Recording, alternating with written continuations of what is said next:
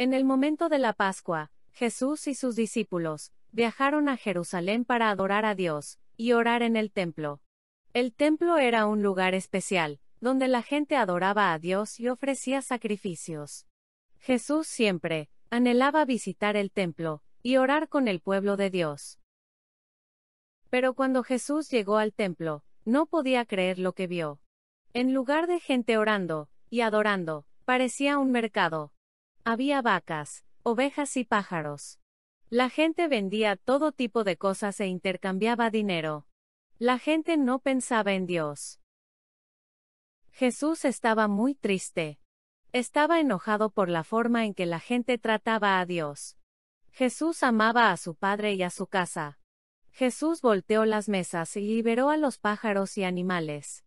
Le dijo a la gente, que sacaran todas esas cosas de la casa de su padre.